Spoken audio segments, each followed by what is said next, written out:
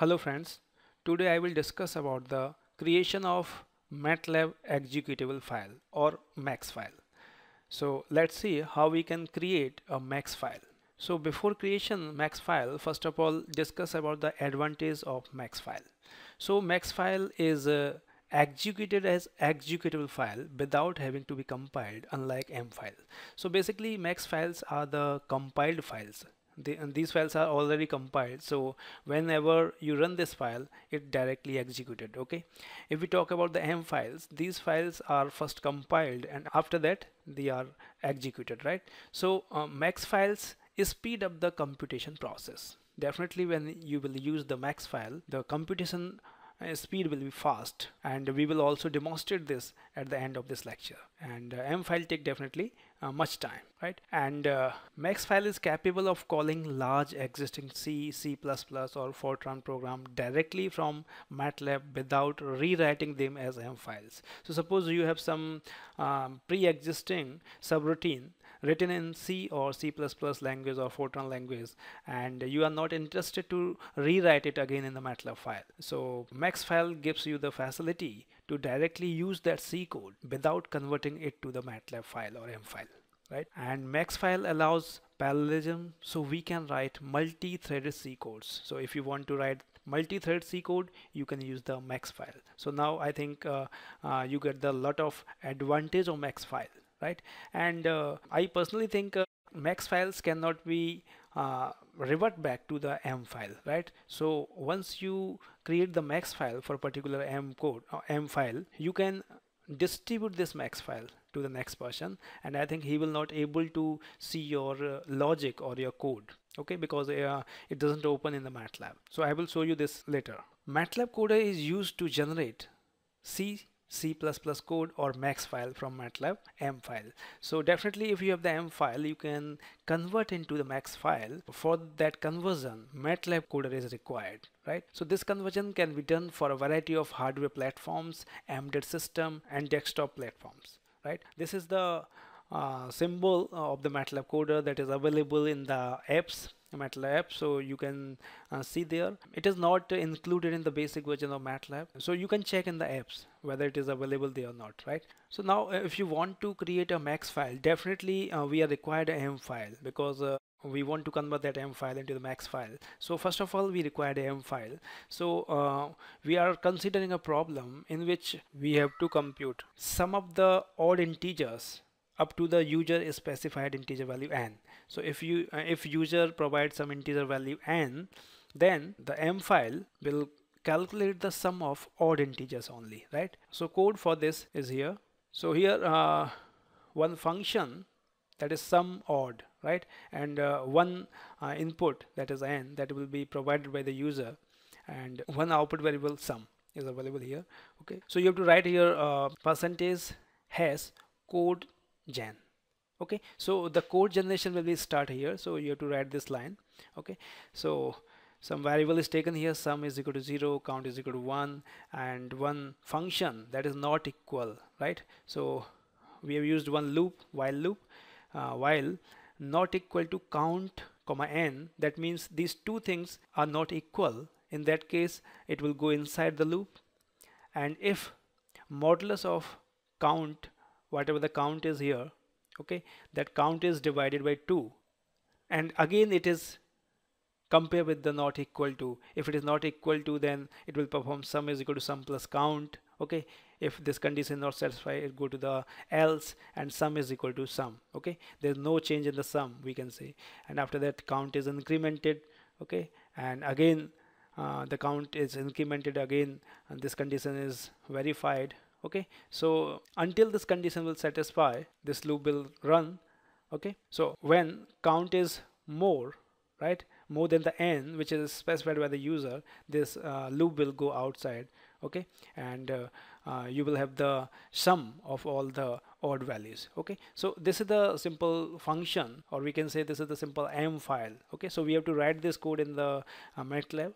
We have to create m file. Uh, after that we can proceed for the MEX file conversion right? Let's move to the MATLAB so I have written this uh, program here okay? So definitely we have to save the file with the same name as the uh, function name okay? So we have the same name of the file the function name okay? Uh, uh after this if you want to check this function you can also check. So sum odd suppose I am providing n is equal to 5 okay? To 5 the sum is 4 right?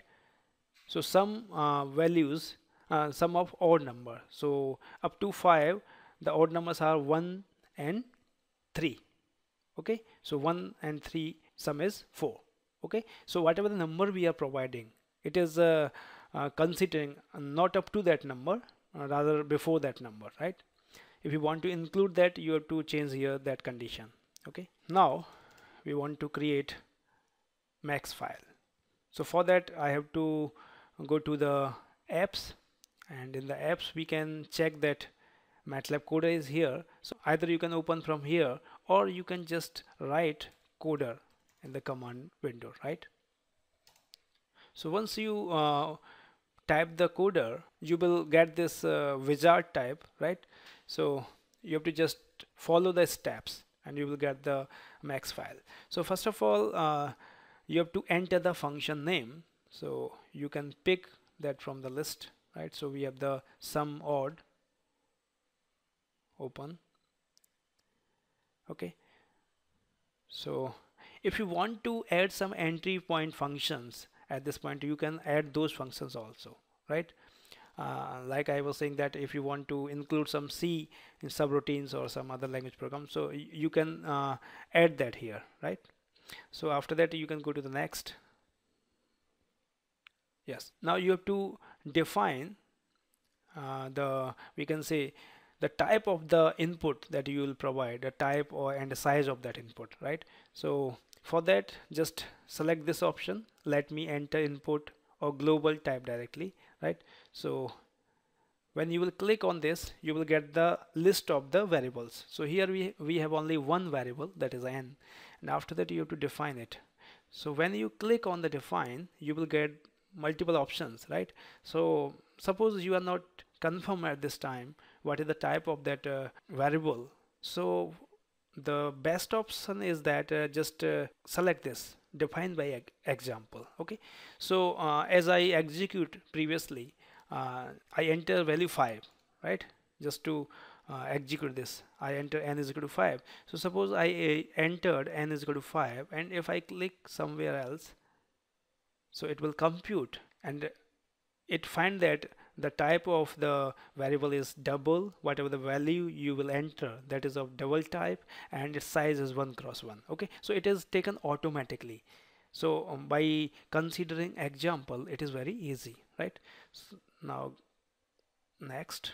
So here you can uh, just run or you can test basically whether your function is working properly or not. So just some odd uh, and enter the value suppose 5 and check for the issues right? If there's an issue that will be listed here if no issue it will show that there's no issue. So no issue detector right? Okay. Now we can go to the next and you can uh, check the output here right? What we have executed you got the answer right? Next. Now you get the option. So you have to uh, decide the build type. So if you want to create some source code like language C in that case uh, you can select the hardware right? So there are option for the hardware. And uh, what is the host type? Okay so you have to define the machine also on which machine you want to uh, run this code right? So here uh, and there are multiple options. You can create MEX file static library dynamic library and executable file right? So we are interested in creation of MEX file. So select MEX okay? So MEX then C code okay? After that generate okay? Once I will click on the generate uh, I will get one uh, MEX file in my current directory okay and that name will be sum odd underscore mex. You can change this name also right? So I'm not changing here. So generate. So now it is building. You can check here. Yes build successful right? So now you can uh, close it or you can just go to the next. Yeah. So MEX generated successfully okay? So now if you want to check the current directory you can check here you have one sum odd underscore mex and mex 64 because uh, it is generated a 64 bit system. So that's why uh, mex w windows 64 okay? So it is uh, we can say it is platform dependent. On which platform you have generated it will execute it on the same platform right? So now it will run only on the windows 64 systems. Okay? Uh, at this point if I want to open this file so I'm just double click this file it is not opening right? And if you write here edit and the uh, MEX uh, file name sum odd underscore mex. It is not opening. It is saying uh, this file does not exist. Do you want to create it? Okay I don't want to create. No. Right? So uh, so you cannot open it in the MATLAB editor right? But if I run this sum odd because it is a function simple we can say sum odd and I write the value 5 so you can check the answer right? So it is very easy. Now the next part is uh, we want to compare the computational speed of these two. Uh, we have one function that is sum odd right? So if I write sum odd so this is simple m file right? So we are getting answer uh, with the two files the same answer we are getting right? So uh, at this mm, point we are just uh, taking a small value of n so we are not uh, able to observe the difference. But if I take the value of n large in that case you will feel the difference okay?